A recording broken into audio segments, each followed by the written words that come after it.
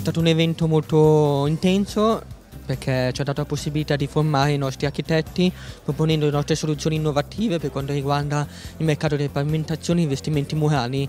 Eh, queste nuove soluzioni innovative eh, portano a facilitare l'architetto nella, nella proposta di eh, soluzioni ai suoi clienti, ad esempio in contact.